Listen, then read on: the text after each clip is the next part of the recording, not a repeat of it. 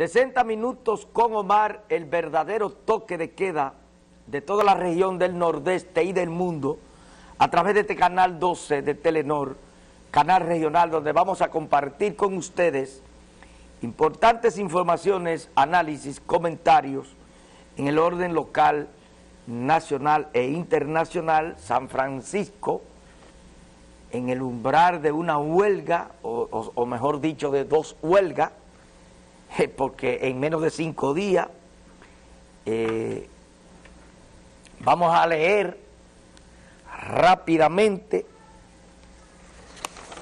una nota de prensa que nos envía la eh, Unión de Comerciantes y Empresarios del Nordeste, UCENOR, que dice, en virtud de la precaria situación financiera del Nordeste, fruto de factores locales y nacionales, a la evidente disminución del flujo financiero en las manos del pueblo y tomando en cuenta que la sociedad en estos momentos está inmersa en los preparativos escolares, consideramos prudente y de lugar mantener los niveles de relativa paz social en la que nos desenvolvemos. En tal sentido, el comercio organizado expresa su profunda preocupación por el llamado a dos paros huelgarios en un periodo de menos de seis días.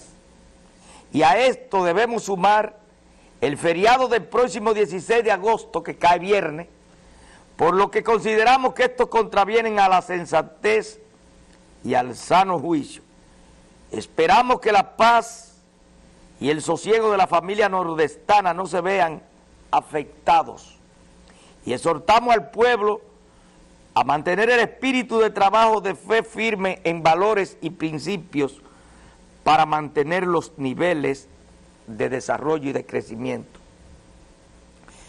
Bueno, eh, eh, realmente yo eh, desde un primer momento dije que como que no me gustaba mucho, pero este ya están, no sé por qué los grupos no se pueden poner de acuerdo y hacer una sola huelga, porque realmente hay que decir que motivo para protestar y para huelga hay más que suficiente porque eh,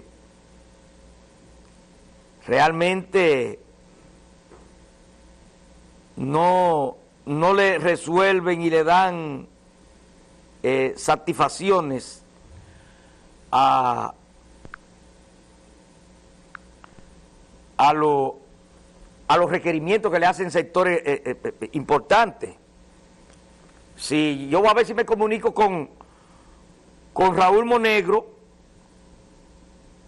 para ver si nos da alguna versión y, y un punto de vista. Raúl, ¿cómo está? Bien, bien, bien. Eh, aquí está el programa 60 Minutos con Omar. Tenemos a Raúl Monegro, vocero nacional del Frente Amplio de Lucha Popular, que ha llamado a este movimiento huelgario. Raúl, ¿cuáles son los últimos pormenores del llamado a huelga que ustedes han hecho para el día de mañana a partir de las 6 de la mañana? Buenas tardes, Omar. Buenas tardes a todo el público. Sí, eh, ya prácticamente está todo montado, montado, los últimos pormenores son esos, esperando que llegue a las 6 de la mañana para que este pueblo se paralice totalmente, dándole una eh, bofetada, diríamos nosotros, sin mano a las autoridades que se han mostrado indiferentes, indolentes ante los reclamos que hace San Francisco de Macorís. ¿Ustedes eh, se, se llegaron a reunir con autoridades, específicamente con el gobernador, y le salieron una vez más con, con eh, eh, demagogia e incumplimiento? Mira, eh, total, eh, las autoridades del gobierno le corren al diálogo porque y o de buscar, o buscar personalidades también de, lo, de, de, los pueblos del país para que siempre estén en los medios, porque no tienen la caja, no tienen eh, la moral, para y dialogar en más concreta. Como no tiene solución, no mostraron ninguna actitud de diálogo. En cambio, eh, trajeron aquí a San Francisco Macorís, el, director de la OISO, para hacer un gusto con el puente de Uganda, fueron ni que supuestamente a dar el primer Picasso, un puente que ni está presupuestado, ni se ha adjudicado a ninguna compañía, ni se ha licitado. O sea, no es posible que ellos lo concluyan, porque en una ocasión estuvo una emergencia, pero ese pasó. Y fue cuando eh, cayeron toda la lluvia hace dos años. En ese sentido, el pueblo se indignó más, está preparando más para que estas 24 horas de paro que va a haber en San Francisco Macorís sean contundentes, sea un referendo y le demuestra a esas autoridades corruptas, esas autoridades que se protegen con la impunidad, con asaltando todas las eh, eh, instancias o, la, o los departamentos del Estado para no ir a la cárcel, le va a dar una respuesta. Francisco Macorís está en pie de lucha y aún después de las 24 horas vamos a continuar con el proceso de piquete, vigilia, si no se resuelven los problemas que estamos planteando o que están planteados que este, este, este principio necesita. Eh, Raúl, aparte del puente de Ugamba, ¿qué otras obras en reclamo han hecho ustedes que las autoridades se han burlado de ustedes? Todas, Omar, todas las obras, incluso la mayoría de todas esas demandas, entonces, eh, situaciones que hay en San Francisco Macorís, el presidente Danilo sitúa esa memoria y el pueblo se recuerda. En el 2012 la prometió toda, toda. Era un pliego de demanda de, Danilo en campaña y daban siete años en el gobierno y ninguna se han cumplido. Este pueblo se siente engañado, se siente engañado. Eh, Raúl, un mensaje final a la ciudadanía de San Francisco de Macorís.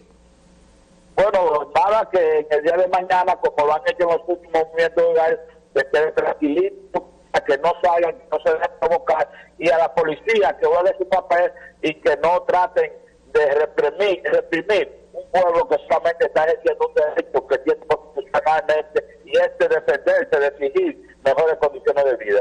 Gracias Raúl, aquí ha sido la intervención del vocero nacional del Frente Amplio de Lucha Popular, Raúl Monegro, que ustedes saben que mañana, eh, a partir de las 6 de la mañana, tienen un paro convocado y ustedes escucharon que las autoridades eh, definitivamente no hicieron ningún esfuerzo por evitar este paro y qué lamentable. Buenas tardes.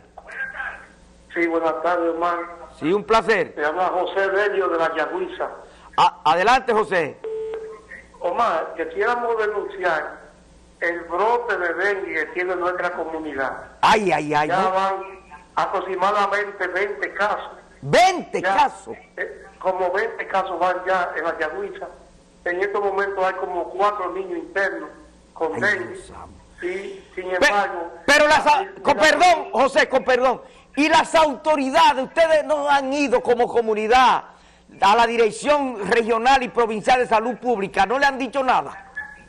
Sí, se le ha hecho saber a ellos, también lo hemos dicho por varios medios de comunicación y lo que dice que van a fulminar, pero no bajan a ver la situación de la comunidad y mucho menos accionar en contra de ese brote de dengue que hay en nuestra comunidad. Por lo que estamos utilizando tu medio de comunicación, el programa, para llamar a la atención a la, a autoridad que creo que no hay.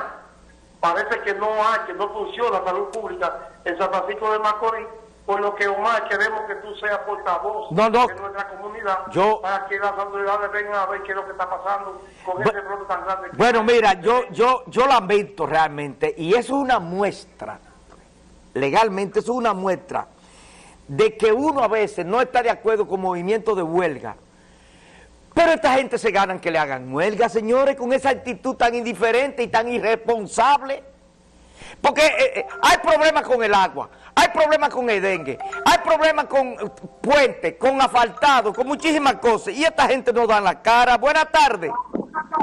Buenas tardes, Omar. Bueno, un placer. Eh, Omar, yo puedo hacerte un pequeño comentario. Omar, ¿a dónde va a llegar este país? ¿A dónde que vamos a llegar? Señores, hablamos los ojos, mire esa gente cómo pusieron esa droga, y si esa cámara no hubieran estado ahí, eso se queda como que, que no pasó nada, porque eso pasa a diario. Oye, yo antes decía, eso es mentira que no ponen droga, pero tuve una experiencia, un muchacho, un joven un día, tiene la NCD, y él está parado frente a mi casa. Como le tienen un miedo a esa gente porque saben de lo que ellos son capaces. Sí. El muchacho se entra para mi casa. Ellos se entran y lo sacan de mi casa a la puerta. Oye, ma, yo soy una señora de casi 70 años de edad. Oye, tía, van y le dicen que encima del mueble de mi casa el muchacho tenía una funda de droga. O más, sabiendo yo que no. Sí, y sí. fuimos y lo sometieron con muchísimas drogas, siendo mentira que no tenía Y otra cosa era a mí. La hija mía tenía una multa de a mí. Y cuando la fue a pagar la multa, le salió otra multa sin ella ver se le puso otra multa nunca. Omar, ¿qué país es este? No, esto no tiene madre. A- casualmente, ahora que usted dice eso, eh, dile a, a- a Ángel que me busque el Diario Libre. Un productor agrícola de Montecristi dijo que esa fiscal le allanó su finca tres veces sin orden judicial. Que por cierto renunció la fiscal de Montecristi, en el día de hoy renunció. Pero esa mujer cometió abuso y cosas. Oye, este país es un desorden, señores. Buenas tardes. Buenas. Sí, bueno. Sí, un placer. Omar, ¿cómo Sí. tú estás? Buenas tardes. Buenas tardes. Eh, Omar, yo te estoy llamando que estas autoridades aparentemente no, o no van a ser o no piensan ser nunca inteligentes. Cómo medir, evitar las cosas Sí, y resolverlas con él. Por ejemplo, esta tarde, a eso de las 4, 4.45, para la parte alta de Polo Nuevo, subieron dos jeeps llenos de SWAT, sí, de esos que ellos traen sí, han traído muchos refuerzos. meterle pretendiendo meterle miedo a los barrios Sí, y eso al contrario lo que hace es, Es verdad. que indigna a la gente sí, y sí. entonces eh, endurece y encrudece eh, la protesta oye no es con represión no es con terror que se resuelve el problema Juanito antiguo es haciendo las obras que este pueblo y tú que fuiste partícipe de ella tiene más de 30 35 años reclamando que se les resuelvan y no se les resuelve. Y con lo único que les resuelve es con la represión, con la demagogia y con la mentira. Lo que de hecho ya este pueblo está harto, cansado de que ustedes le hablen tanta mentira a este pueblo de San Francisco de Macorís. Por eso, aunque uno no esté de acuerdo con el movimiento, por muchísimas razones, tiene que apoyarlo, tiene que estar de acuerdo, porque nada más no es oírlo a ustedes, es que ustedes resuelvan. No es decir que ya vamos a hacer, que ya esto, que toda la vez que ha habido un llamado a movimiento, ustedes van y, y- y establecen que ya van a resolver, más sin embargo, no lo han hecho. Sí, este, Gracias, gracias a ti. eh, déjame decirte. amigo tuyo. Sí, gracias, hermano. Sí, a la orden. Muy buena llamada. Mira, Macorís está militarizado. Desde el sábado están viniendo eh, eh, aquí a San Francisco eh, camiones de, de- de guardia y policía. Buenas tardes. Bueno, Mae, Sí. ahora mismo en la Castillo con Libertad hay muchas bombas de goma encendidas ahora mismo. Van un viaje capuchado y Qué la libertad. Qué, qué barba- ya, ahora la, mismo. ya la huelga, como Ya, dice, ya comenzó empezó. ahora. Ya. Tuve- que cerrar todos los comerciantes por ahí, Omar, ya. Desde ahora ya empieza todo. Qué barbaridad. Caramba, ojalá no pase nada, porque ese, ese es el deseo. Después vamos a lamentar todo. Miren, y es que este gobierno, esta gente están haciendo cosas terribles. Dile que me busque la deuda pública, señores, en, un, en un año. Ah, mira lo del productor agrícola. Productor agrícola denunció que la renunciante fiscal le allanó la finca sin orden judicial. Oigan, míralo ahí. O sea, como está este país, señores, los abusos, los abusos que esa gente cometen, señores. Pero mi- búscame ahí la deuda pública, búscame Ángel, Diario Libre. En un año, el gobierno de Danilo Medina, oigan bien esto, señores, cogió prestado 5.664 millones de dólares en un solo año. Y la deuda llegó, la deuda pública, a 44.508 millones 300 mil pesos. Miren, miren eso. Miren eso ahí. ¿A dónde va a llegar este país? ¿A dónde que esta gente, si a esta gente no se le pone coto con ese endeudamiento irresponsable para mantener este país lleno de botellas y, y robando a dos manos, lo vamos a lamentar después. Después esos, esos cuartos que estos tigres están cogiendo prestados. 44. Pero eso lo dice crédito público de gobierno. Eso no es que Omar Peralta, eso es ellos mismos que lo están diciendo. Le vamos a permitir, dominicanos, ustedes cruzados de brazos, le vamos a permitir que esta gente sigan endeudando este país como lo están haciendo. Le vamos a permitir eso. Le vamos a permitir eso. Miren, los tataranietos ya deben dinero de eso. Una cosa increíble, señores. Una cosa increíble lo que está pasando en este país. Y nadie, nada, lo, los otros precandidatos danilistas. Buenas tardes. Buenas tardes. Sí, buenas. Omar. Sí.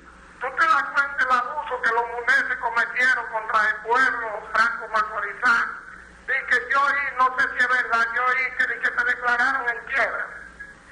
No, ellos, ellos no se han declarado en quiebra porque yo pasé el viernes aquí en este programa eh, una rueda de prensa que vinieron a dar los abogados representantes de MUNE y ellos dijeron que ellos están buscando el dinero y que eh, ellos le van a resolver a la gente. Ellos dijeron eso. Lo único que ellos alegan es, y yo lo comenté aquí, y ese día hicieron muchísimas llamadas. Eso fue viernes pasado. Lo único que ellos dijeron fue que hay parte de ese dinero que lo que era dique ejecutivo de la empresa se lo cogieron y no lo registraron en la empresa ante una pregunta que yo le hice a ellos en esa rueda de prensa que ha sido muy comentada y que he recibido felicitaciones de muchísima gente porque lo puse a ellos en una situación sumamente difícil. Me dijeron que Alex Díaz, el amigo Alex Díaz la pasó anoche y se escuchaba las preguntas varias que yo le hice. Incluso me llamó Willy Hierro, el cantante Willy Hierro, legendario cantante de La Gran Manzana, diciéndome que gozó muchísimo porque vio como yo, con la pregunta que le hice, lo, lo, lo, lo puse en una situación difícil. Nada, sencillamente yo le pregunté y le dije que ellos no eran bancos comerciales, que ellos también violaban la ley porque ellos cogían dinero eh, eh, en depósito. Entonces uno de los abogados dijo que no, que ellos no cogían dinero en depósito. Que lo que la gente hacía era prestarle el dinero a ellos. Y eso es un truco, eso es un truco porque ellos saben que eso es ilegal. Que la gente, por buscar mejores intereses y por ignorancia, lleva a esos sitios dinero que sabe que no puede llevarlo. Sabe que no puede llevarlo porque los únicos que están autorizados para recibir dinero es el sistema bancario nacional, son los bancos comerciales y las instituciones de intermediación financiera. Esa gente no son bancos comerciales. Entonces, pero la gente por buscar mayores intereses, lo pone no solamente donde Munel, lo han puesto en muchísimos sitios, hasta en casa de cambio. Ustedes han visto que muchas veces han quebrado casas de cambio y lo ponen en personas individuales. Recuerden el caso de un señor llamado Rafael Pantaleón, que se dice que se fue con más de 100 millones de aquí, de gente que le entregaba el dinero a él. Recuerden el caso de Nestalí Mena, que se fue con más de 300 millones de pesos, de gente que incluso vendió casa y vendían solares y le daban el dinero a Nestalí, en forma de préstamo, claro está. Y esto es porque Nestalí que le daba, me dijo uno de las personas que estaba allá, le daba 15 mil pesos por un millón de pesos, el banco, entonces eso es un riesgo que usted se coge, porque el banco le da 4 mil pesos con 5 mil máximo, no sé. Pero usted se lo da a una persona y usted está en un hilito. Oiga, usted en un hilito de que esa persona le quede mal le quede bien. Entonces, yo siempre he dicho, Si yo un día llego a tener dinero, yo lo meto en un banco, en un banco de los de prestigio, que, que yo sepa que no, pero ven acá y que, y que, porque déjenme decirles qué pasa con los bancos, escuchen bien esto. Hay lo que se llama el encaje legal. Oigan esto. Cada banco comercial del ahorro que usted lleva tiene que dar por cada 100 pesos que usted mete en un banco, lo que se llama el encaje legal, 20 pesos de esos 100 pesos van a la bóveda del Banco Central. Usted metió 100 mil pesos, 20 mil pesos van. Bueno, yo, yo sé que ustedes han escuchado cada rato, el Banco Central del encaje legal puso a disposición de los bancos, el otro día puso 29 mil millones de pesos y a los dos o tres días más puso 5 mil millones de pesos. Usted metió un millón de pesos a tal banco, X banco, de ese millón de pesos, 200 mil pesos van al Banco Central. ¿Ustedes saben para qué? Para si ese banco mañana quiebra o tiene problemas, a los ahorrantes menores, chiquitos, que tengan poca cosa, con ese dinero se le va resolviendo en lo que el banco vende los activos, eh, que si tiene un solar, que si tiene un edificio. Con ese dinero que tenga el Banco Central, que son de los bancos, que son de los ahorrantes, eso es lo que se conoce como el encaje legal. Entonces, pero el banco le responde y las autoridades le responden a ustedes. Pero un Juan Pérez, que dice que usted va y le lleva su dinero, si quebró o se asó con el salto y la limona, usted no tiene reclamo, usted perdió su dinero. Para que estemos claros en eso. Usted perdió su dinero.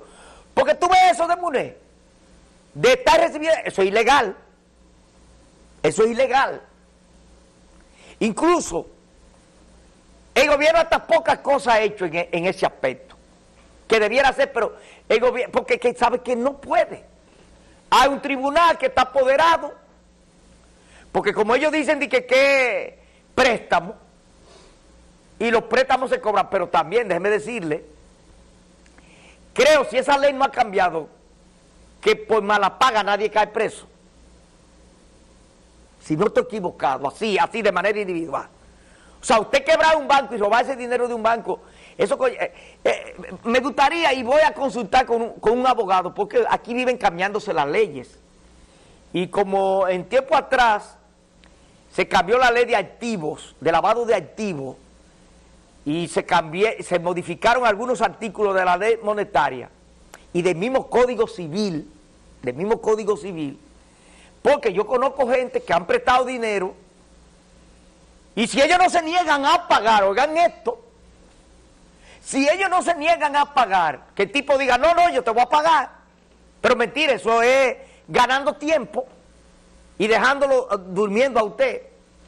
Si ellos no, eh, eh, las autoridades no pueden actuar, a menos, a menos que en base al contrato que hagan, diga, bueno, mira, porque eso se estipula en, en muchos casos de préstamo, mira, yo te presto 5 millones de pesos, Ahora, si tú no tienes el efectivo después para pagarme, tú me vas a pagar entonces con un inmueble, qué sé yo, un solar, eh, una casa, eso tiene que estipularlo el contrato con el cual usted le prestó. Porque mientras tanto, si eso no está estipulado y no se tiene a mano, eh, este hombre tiene tales y tales cosas, mientras tanto, con él decir no, no, mira, deja que yo consiga dinero, yo te voy a pagar. Ahí va ganando tiempo. Buenas tardes. Y con esta llamada nos vamos para la pausa para venir a hablar de medicina con el doctor Peralta. Buenas tardes. Sí, buenas tardes. Sí, buenas tardes. Oye, Omar, yo quisiera saber, porque tú puedes averiguar más fácil, si esta gente de MUNE estaban reconocidos como financiera. No, no, no está reconocido. Ellos me lo admitieron en la prensa. ¿Tú no viste la rueda de prensa? No, no, yo no estoy muy, bien empapado. Ah, eh, Porque no, si ellos estaban reconocidos, oye, si ellos estaban reconocidos como financiera, el banco les responde. ellos no están reconocidos, ellos son compradores de cacao. Y supuesta Ah, porque bueno, está- ya, ellos son compradores, ellos no son financieras. Ellos son compradores de cacao. Y el alegato que ellos dicen es que ellos para comprar cacao en gran cantidad le cogían dinero prestado a la gente, pero ellos no son financieras. Ah, no, no, ya entiendo, porque es que, que si fuera, estuviera reconocida como financiera. No, ellos no están reconocidos. El banco, la superintendencia de banco le resuelve. Es la que te resuelve, no exactamente. Porque déjenme decirle, la superintendencia de banco, para que la gente tenga idea, a los bancos comerciales y a las instituciones de intermediación financiera, tienen que rendirle diariamente, oigan esto, diariamente un informe de su estado de cuenta. Y los inspectores van y chequean, mira, eh, hay problemas, entonces remite, mira, aquí hay problemas, aquí está viendo esto, y eso es diario, diario tienen que a la, a la superintendencia de banco y al mismo Banco Central, un informe diario. Entonces, por eso es que ellos detectan con tiempo, ya cuando un banco está a punto de quebrar, porque lo de Baninter, lo de Baninter se sabía, fue que Ramoncito Báez Figueroa, cuando iban los inspectores de la superintendencia del banco, al banco Baninte, ¿saben qué hacía Ramoncito Báez? Los sobornaba y se quedaban callados. Pero ellos sabían que Baninte tenía problemas. Buenas tardes. Buenas tardes, Omar. Sí, un placer. Omar, yo soy la persona de los 87 años de Monet. Yo fui allá hoy. Ajá, ¿y qué le dijeron? Yo tenía, yo tenía un pagaré firmado por 800 mil. Y ellos, eh, yo allá nada más figuro en la casa Monet. El pagaré mío dice 800 mil. Sí. pero pero yo allá nada más figuro con 400 mil y pico. Entonces yo, ellos me dieron el listado de los réditos que MUNE me daba mensual. Sí. Y para la casa MUNE yo nada más recibía dos mil pesos mensual. Pero ellos me daban, primeramente, después bajaron a, a siete y a seis pico, y ahí me descontaban 600 y pico para el gobierno, no sé qué, del impuesto. O sea, y en el 31 días ellos me daban seis mil y pico. ¿Usted está consciente que usted recibía dos mil pesos mensuales? Digo, no, es que yo nunca he recibido dos mil pesos mensuales. Dice, le dijo al muchacho, mira cómo esta gente estaba trabajando. Entonces me dice, él, y usted no tiene un papelito porque me daban un papel eh, a la a máquina, lo que yo, lo que ellos me daban. Sí. Pero yo no pensaba eso, yo lo botaba ahí mismo. Ay, María Entonces, Purísima. Consígase un papelito de eso. Ay, María Eh, pero el muchacho me dijo, me tomó los datos y me dijo, no, su dinero se le va a reponer. A usted lo van a llamar porque él lo, él lo, él lo envió de una vez para la capital, es el problema mío. Me dijo, ¿y qué voy a hacer? Imagínese, ya yo cumplí 87 años. Sí, no, no, deje tranquilo, no se va, no, no, deje tranquilito. Así, es que se coge la cosa, porque si se pone a pelear y a, a arrebatar eh, vaina, lo que se va a morir. Deje tranquilito así. Permíteme, Omar, oye, ¿tú sabes por qué yo fui allá hoy? Sí. Porque el esposo de la, de la hija mía fue el que fue allá y, y buscó esos datos. Que si no, yo creía que yo estaba, porque toda la cuenta de ellos está consciente que, que está también la, la, la de ellos. Es la mía. Como este es un viejo, vamos a ver si logramos con ese viejo. Ay, porque Dios ellos no me figuran que yo tenía 400 mil y pico de pesos ya. Y yo, pues, eh, desde el año 12 tengo yo ese dinero allá. Ay, Dios Y santo. me ay, estaban santo. recibiendo, dando eso. Pero vamos a ver si tiene por, por lo menos eh, eh, eh, suerte. Vamos a ver. No, Señores, nada más tengo que decir, ojalá, ojalá puedan conseguir ese dinero. Ojalá. Nos vamos a la pausa y venimos a hablar de medicina, que el dengue está acabando. Ustedes vieron esa denuncia de la Yangüiza con el doctor Edgar Peralta Yori. Adelante, señor director, venimos a hablar de medicina ya el resto del camino.